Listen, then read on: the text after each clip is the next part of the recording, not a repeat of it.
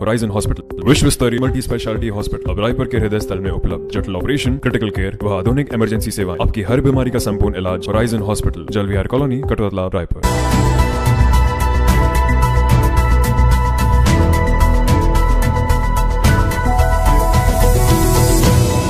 नमस्कार, आप देख रहे हैं मीडिया 24 न्यूज़। मैं हूँ आपके साथ भूपेश टांडिया।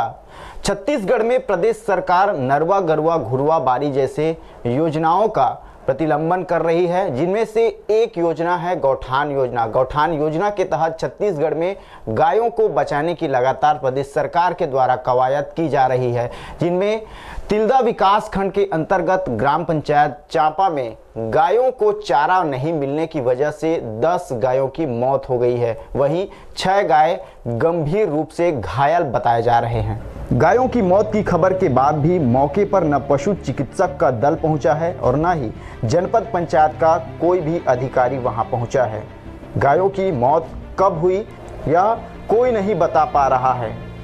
तिल्दा से 8 किलोमीटर दूर ग्राम पंचायत चांपा के गौठान में लगभग 9 गाय रखी गई थी। ग्रामीणों की माने तो सभी गाय पिछले एक सप्ताह के अधिक समय से भूखी रह रही थी। यहाँ न गायों के लिए चारा है और ना ही उनके रहने के लिए शेड की व्यवस्था है। जो कच्चा शेड बनाया गया है, वह हवा में उड़ गया है। इसलिए सभी गाय खुले आसमान के नीचे पिछले सात आठ दिनों से भूखे रह रही थी। पिछले 36 घंटों से हो रही लगातार बारिश में गाय भीग रही थी। गौठान का दरवाज़ा बंद होने के कारण बारिश के बावजूद वह नहीं निकल पाई और तेज बारिश में भीगती रही। लगातार भीगने से गायें ठंडे को सह नहीं सकी और भूखे रहने की वजह से उनकी मौत हो गई। गौठान में जो अन्य गाय रखी हुई है, वे भी मरणासन अवस्था में दिख रही है। कुछ ग्रामीणों ने दबी ज़ुबान से बताया कि गाँव में गौठान तो बना लिया गया है, लेकिन गायों को रखने के साथ उनके चारे की यहाँ कोई व्यवस्था नहीं है। कुछ लोगों ने यह भी बताया कि गाय के मरने के बाद राज को छुपाने के लिए उन गायों को दफना दिया जाता है। क्योंकि बारिश के होने के कारण सरपंच सचिव को गायों के मरने की जानकारी नहीं हो पाई, इसलिए गायों के मरने का राज खुल गया।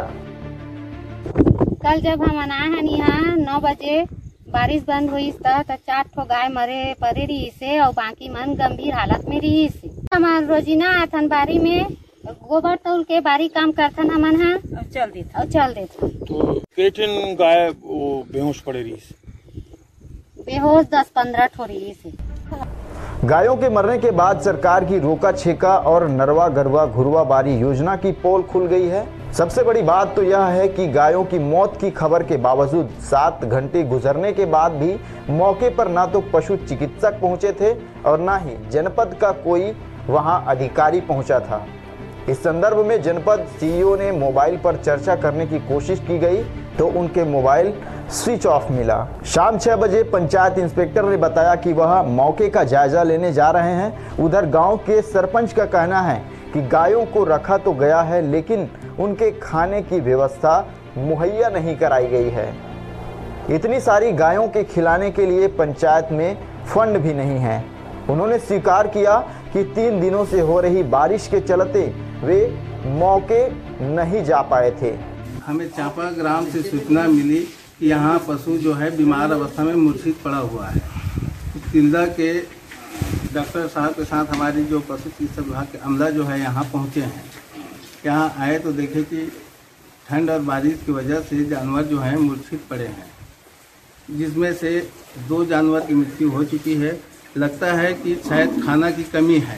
लेकिन पोस्टमार्टम रिपोर्ट आने के बाद में ही कुछ कहा जा सकता है कि सच्चाई क्या पंचायत चांपा के गौठान में लगभग 275 गाय हैं और उसको गौठान में ही रखे गए थे। लगातार तीन दिन के बारिश से, बारिश और हवा के कारण लगभग 10 गाय, ग्यारह गाय की हालत ख़राब हो गया था, जिसको कल सूचना देकर के पशु चिकित्सक को बुलाए गए हैं और कल से लगातार इन लोगों का स्वास्थ्य उपचार चल रहा है।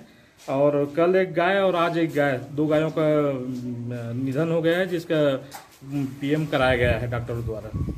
हाँ सीओ साहब आज आए थे, लगभग साढ़े दस, ग्यारह बजे के आसपास आए थे। और डॉक्टरों की टीम तो सुबह से ही है, आठ बजे से लगभग पहुँच गए हैं लोग भी। और कंटिन्यू उन का उपचार चल रहा है।